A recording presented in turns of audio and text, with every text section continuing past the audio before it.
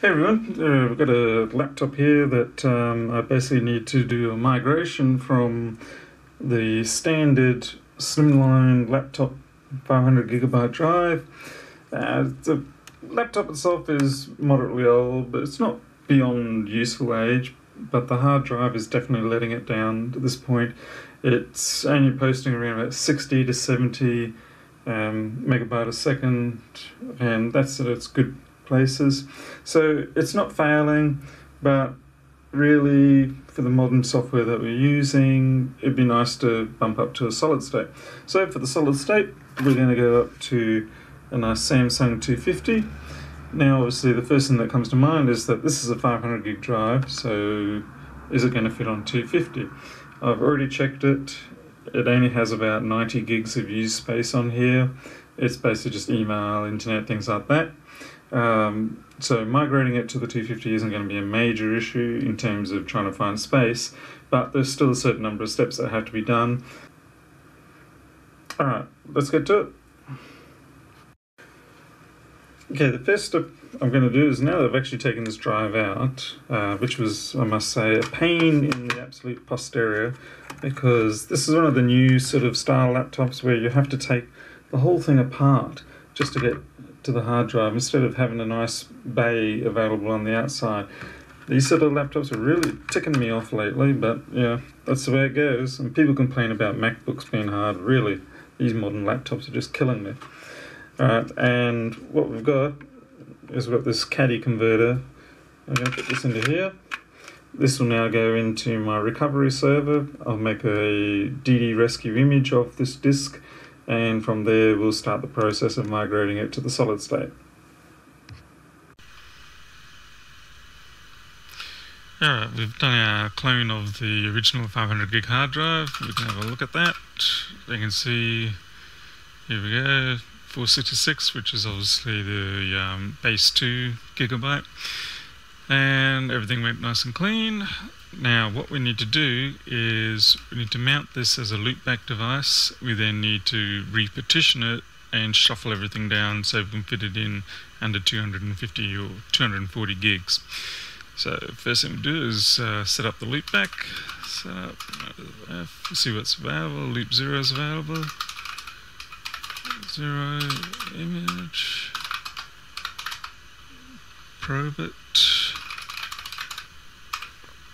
Okay, now to run gparted, we do have to do it as a, because I'm doing this over um, secure, X over secure shell, I have to do it as a normal user sudoed.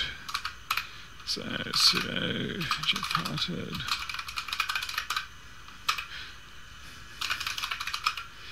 And let's hope it actually was closed off properly, the drive that is, shut down properly. Because if it isn't, we got more fun ahead of us.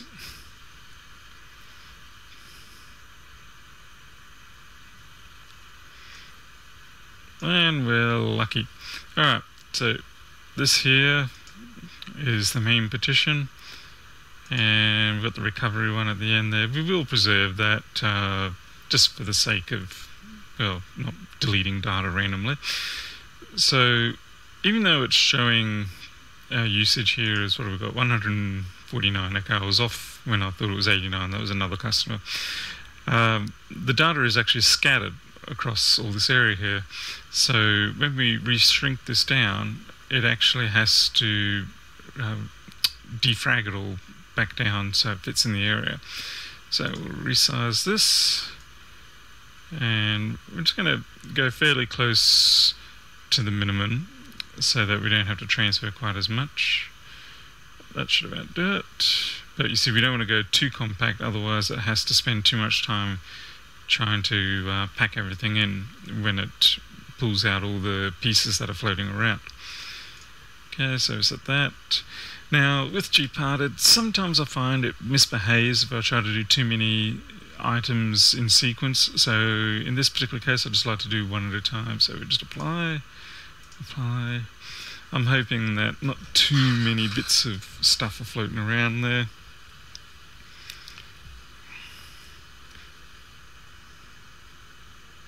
And hopefully we don't get any errors.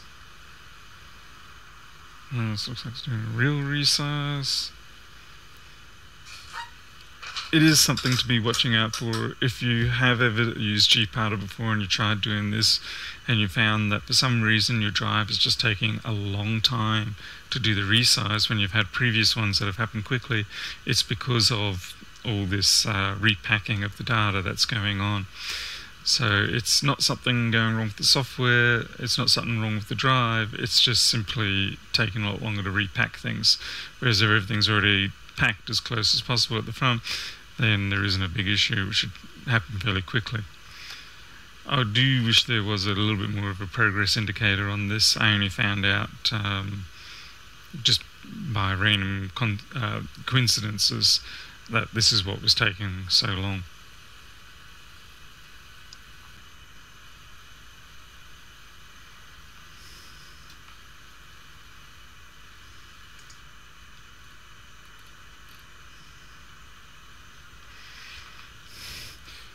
Oh, look at that.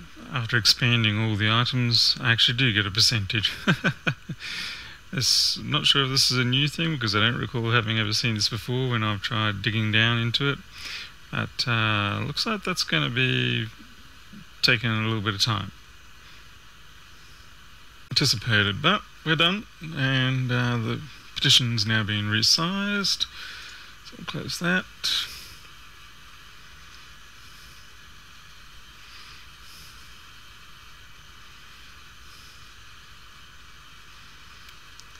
Just waiting for it to resync. Alright, now we just need to move this one up to here.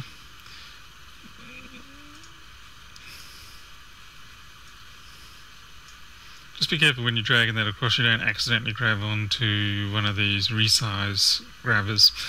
you do that, cancel out completely uh, and then retry it. Otherwise, what will happen is it will resize it, then shift it, and you'll just waste a bunch of time uh, resize, okay. Apply. Yes.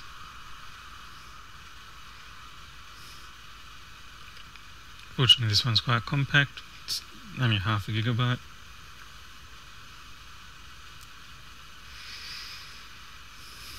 Close.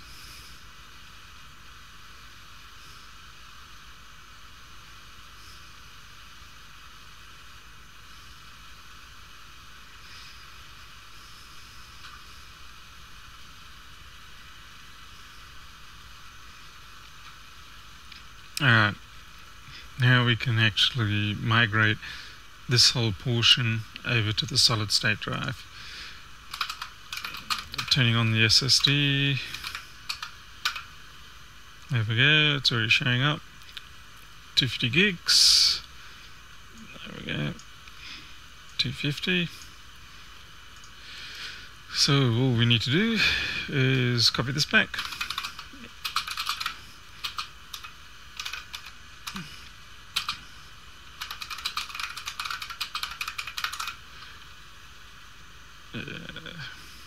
and just if you if you're feeling not entirely confident with DD Rescue, just add the ask flag, and it'll sit here and it'll say okay. So we're going to copy from the image file to the Samsung. Proceed. Now, even though it's going to try and copy 500 gigs across, it'll get to the end of the Samsung drive and it'll simply quit out and say no more space left on device, which isn't a problem at all. And after it's done that, we will then shift those partitions back to maximize the use on the solid state drive. Alright, we've finished doing the transfer over to the solid state drive. We can see it basically went to the limit of the drive itself and terminated which is fine. That's what we expected. That's why we did the shuffling out to the front of the uh, image with all the data. Alright, so now we're going to switch over and try and re-shuffle um, those partitions on the solid state drive. Let's see, let's hope this works. Hello, what's going on here?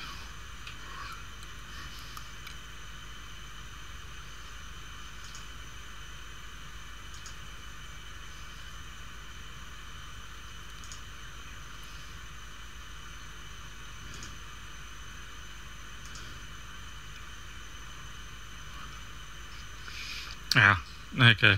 What's happened here is the um, partition table on the drive is a GPT, so we actually need to go and repair it before we can do our uh, reshuffling. So to do this, uh,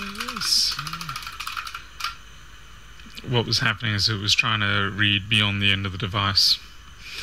And we need to go into expert mode. Expert mode. Extra functionality. I always seem to forget this every single time. um,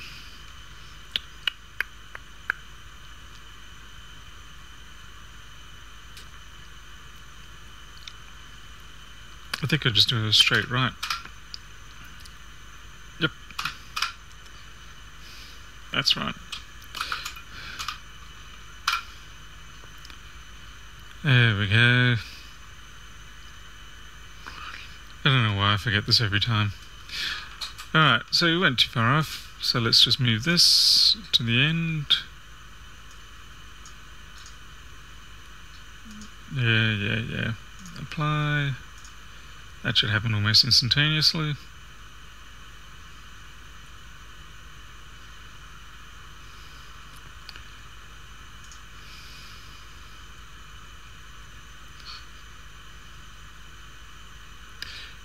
And finally, we stretch out this one.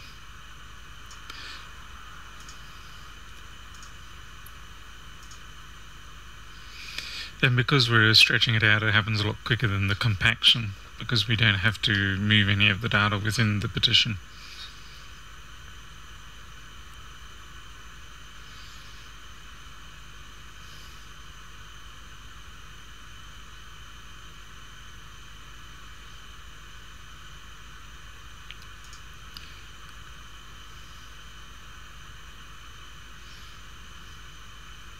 Okay, that's great. It's all done now. So quit out of that.